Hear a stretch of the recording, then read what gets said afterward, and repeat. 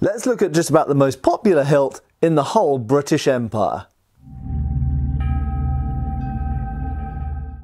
Hi folks, Matt Easton here of Schola Gladiatoria and also Easton Antique Arms. Now, this is what's commonly referred to, certainly on this channel, as a three bar hilt. Minor caveat there, actually in the records they're no, normally known as two bar hilts because they've got two bars projecting out of the side of what would be a standard knuckle bow. And regular viewers of this channel, um, or indeed anybody who collects antique swords, will be very familiar with this style of hilt. It should also be mentioned this is a British sword, but French style uh, cavalry swords for the light cavalry share a very similar hilt but made in brass. Now, this model of hilt first appears um, in Britain in, by regulation anyway. It appeared prior to this as non regulation, but by regulation appears on the light cavalry sword of 1821, the 1821 pattern. Now, this is a slightly later one. This is a Wilkinson from the middle of the 19th century, and this features a fullered blade. So, technically, this is an 1821 pattern light cavalry officer's hilt mounted with an 1845 or post 1845 pattern blade. Now, this type of hilt isn't just found on light cavalry swords, it's also famously found on Royal Artillery officers' swords and a whole bunch of other swords as well, and that's really what this is about. Now, a lot of people, when they see these two bar or three bar, whichever you prefer to call them, uh, hilts, will immediately think, well, that's either a light cavalry sword, like cavalry officer's sword in this case, or an artillery officer's sword.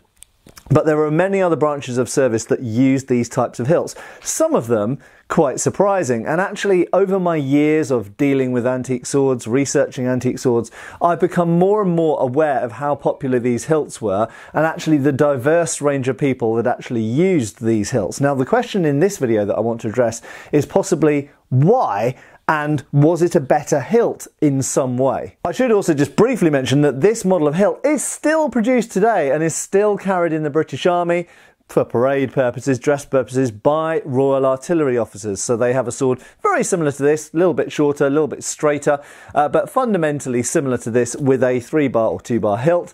Um, and that is still the regulation today for um, uh, Royal Artillery officers um, and even a couple of other associated branches of the service as well, but most famously for Royal Artillery officers. So, what other hilts were used at this time by other branches of the service? Well, heavy cavalry, who fulfilled, at least on paper, a different function uh, in war than light cavalry did, had a more complete hand protection. Um, and we can sort of see a logic there, and I've talked about that in previous videos. So, if you search through my playlist uh, for those, uh, you'll find this uh, light cavalry versus heavy, cavalry uh, topic addressed previously. But essentially, this is a lighter hilt. It is one that is, yes, it is less protective, but it's lighter and easier to wear. Makes for a slightly lighter, and in theory, a slightly lighter and more nimble sword, although most of that's dictated really by the blade than the hilt. But nevertheless, the uh, the more complete hand protection of the heavy cavalry is something which, at least in theory, goes back to basket hilts. Now, on the subject of basket hilts, I have a Highland officer's basket hilt here from the Victorian period, mid-Victorian again, and this is a basket hilt, and this you'll see offers completely uh, symmetrical and full hand protection. But despite that, we do find that some uh, Highland infantry officers instead went for one of these. And that's right. So you'll notice the blade of this is the so called, what they called at the time, the Claymore blade. In other words, a broadsword blade. It's double edged, double fullered. Uh, with a prominent ricasso. Just have a little look at the ricassos there. And you'll see that the blade, whilst they're not identical because they're made by different companies and at slightly different times, they are fundamentally the same model of blade, but on completely different hilts. And um, I happen to know that the officer that purchased this sword, because it's a Wilkinson and it's numbered and identified, uh, was actually purchased by someone who'd served during the Indian Mutiny including in the Siege of Lucknow, Second Siege of Lucknow, um, and had been engaged in hand to hand combat. In fact, he nearly had his head taken off with a tulwar. Um, and for whatever reason, he decided to go for a two bar hilt. Now, you might think that was an individual decision, a decision by the officer for some personal preference, but actually, no, it goes further than that because. When we look at records from Wilkinson for swords made for Highland officers in the Crimean War as well as the Indian Mutiny in the 1850s, we do find quite a lot of them ordering light cavalry hilts. Now, The question is why? Well, there's a few possible reasons. Number one is that if you are trained in sabre fencing and you want to use, use your sword like a sabre, the basket hilt, at least in its conventional setup, can be a little bit restrictive uh, to the bottom of the hand here. Okay, it can conflict with the sort of heel of the hand as, as they termed it at the time in various books, the play of the wrist. So if you want to place your thumb up the back of the grip, as you would do with a sabre, it's a little bit too short, it's a little bit too confined. Now, you can, in fact, use one of these swords like that, but it's not super comfortable. So if you want to use a sabre grip and use it like a sabre, surprise, surprise, a sabre hilt is probably your best bet. So there we go. That could be one reason. Another possible reason that's been touted is that uh, certainly some of the officers, we don't know if all, but some of the officers ordering these were of a rank where they were going to spend most of their time on a horse. And so maybe for some reason they thought if they're going to be on a horse, then a sabre hilt would be more appropriate than a basket hilt. Maybe for reach, for delivering point, this type of thing. We don't know. That's, that's, that's one idea. There is another reason which gets uh, overlooked. In fact, there's a couple of other reasons which go overlooked. One could simply be fashion. It could just be that they, for some reason in those regiments, wanted to mark themselves out as a bit different. They wanted to have a light cavalry hilt. Maybe they liked the look of them. Who knows? Um, and the other one is quite simply that they thought it was a, a better hilt for some reason, for whatever reason, maybe simply because it was lighter or easier to wear or whatever. So, uh, uh, and there is one other detail as well I should mention about this particular hilt. From the Wilkinson record for this particular sword, we know that it didn't look exactly like this. It actually had a buff leather lining, so essentially kind of like a rawhide lining, but white. Um, now, a lot of basket hilts have leather linings in them, and a lot of people go, "Oh, what about the holes? Can't you thrust through those holes?" Yes, you can but not when it's got a leather liner in it. The leather liner offers, it's like wearing a leather thick rawhide gauntlet essentially, but it's a whole bowl inside the guard. Now, what's interesting is the records for this sword show that this originally was furnished with a leather liner. So whilst it had the three bar, three bar or two bar light cavalry setup, those gaps or holes were filled by a leather liner, just like in a basket hilt. so we've seen that sometimes people uh, officers from a regiment that normally had a basket hilt um, sword sometimes took the light cavalry hilt. But in addition to that, through researching photographs of the period and seeing officers, and I can tell what regiment they're in from their uniforms or just because it's an identified person and we know what regiment they were in.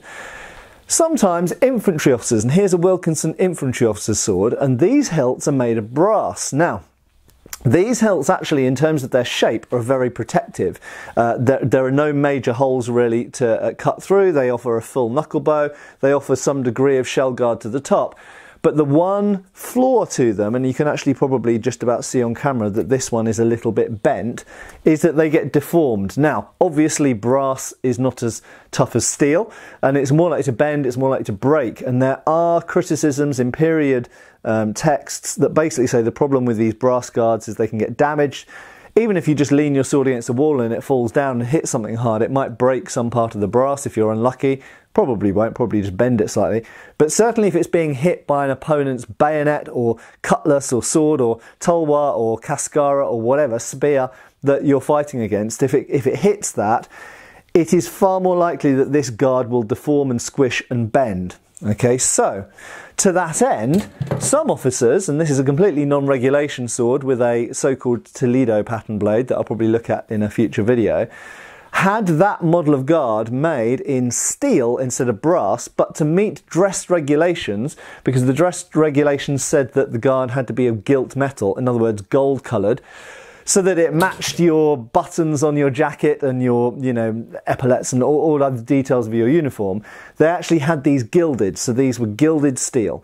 So this is called a gilt steel guard. Now, none of the gilding remains on here. This is a hundred and something year old sword, 140 years old, something like that. Um, eight dates to the 1880s actually. Um, and so this originally would have been brass coloured, but actually gilt coloured, so gold coloured. But that is over the steel. So functionally, mechanically, this is now a steel guard. Great solution.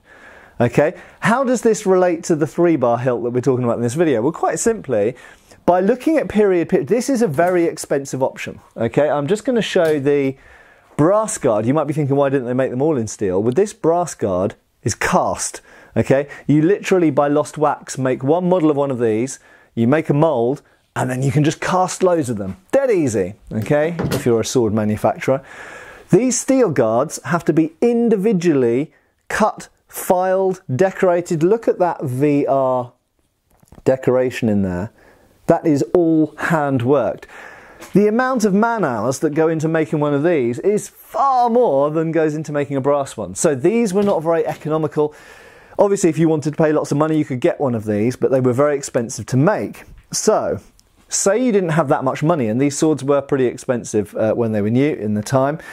So, if you didn't have that much money, what did you do? Well, uh, we know from photos from India and Afghanistan from the 1850s through to 1880s and, and, and beyond in some cases, that what they did was they went and bought, in some cases, a cavalry sword. Um, so we have pictures of infantry officers and rifles officers. Now, rifles officers did actually carry a steel hilt, and I'll come back to that in a minute. But we see photos of infantry officers and rifles officers with cavalry swords with three bar um, hilts. Why? Well, we've already seen a steel hilt is more protective than a brass hilt mechanically, even if it's got big gaps in it. In terms of it being hit by another sword, this steel guard is going to take a lot of punishment. You could use it in weekly sparring and it would be fine. With a brass guard, you couldn't. So they were stronger. But is that the be all and end all? Is that the only reason why they were choosing light cavalry hilts?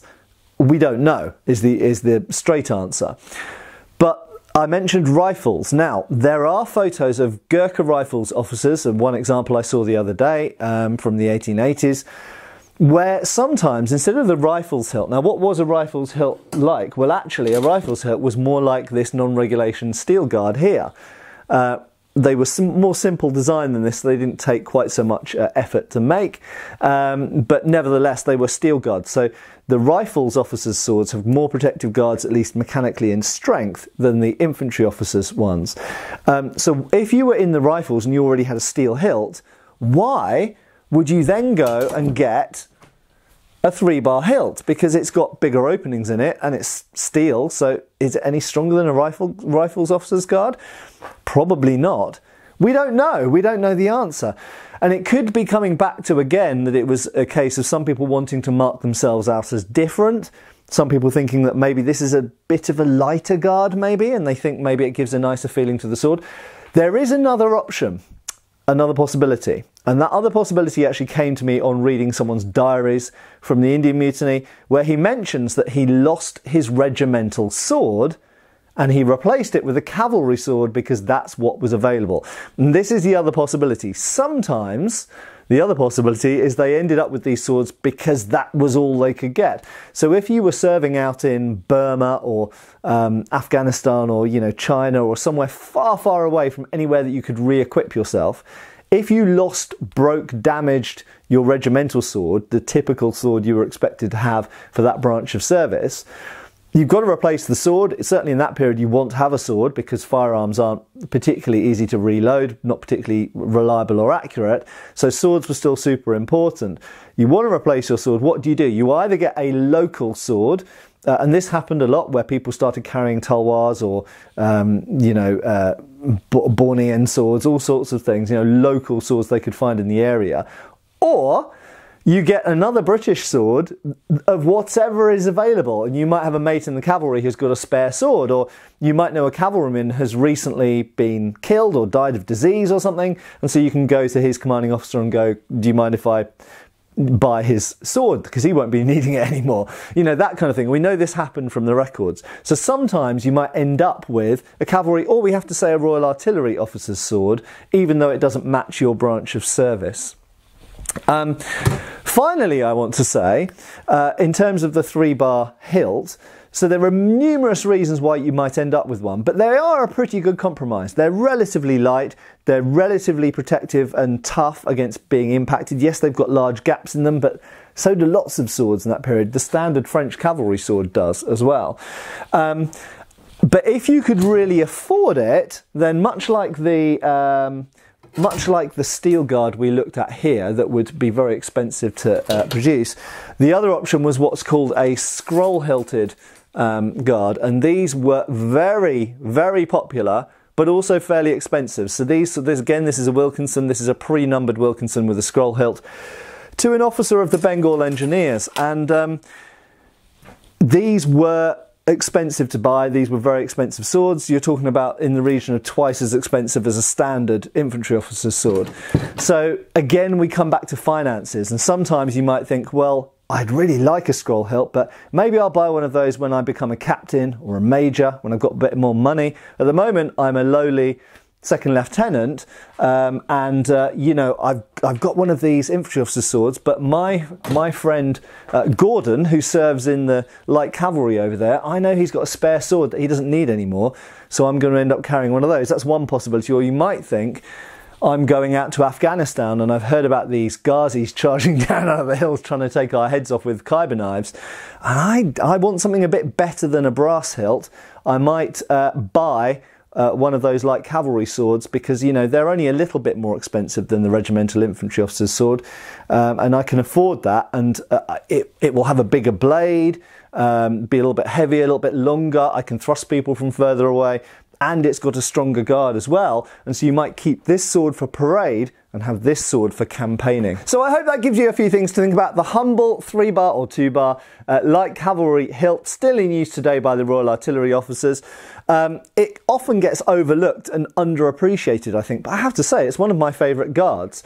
Whilst it's not as glamorous as the scroll hilt or the steel gilt hilt or the, the equibalance or the various other hilts that are available, whilst it's not as glamorous and even as protective as those, these were probably the most popular guards on British Empire swords between the 1820s and all the way up basically to uh, the end of the 19th century, in the 1890s. These were hugely popular hilts used by light cavalry as standard, used by the Royal Artillery as standard um, used by various other uh, people who uh, chose to use it as well, it, uh, used by various other people who wanted a go to standard hilt that was good for a all-round purpose uh, purposes, and um, it provides you with a knuckle bow. It provides you with two sidebars. It provides you with protection on the thumb side as well, and a rear quillon. So really, it is a good basic hilt.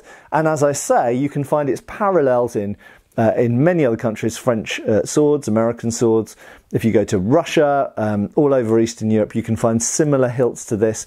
And indeed, uh, it probably has its origins actually in France, but it basically remained as a type of hilt until, well, until modern day in parade use, but as a battlefield sword right the way through um, World War One also.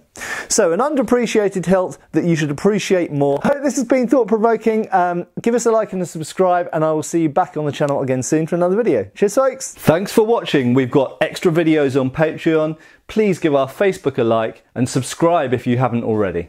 Cheers, folks.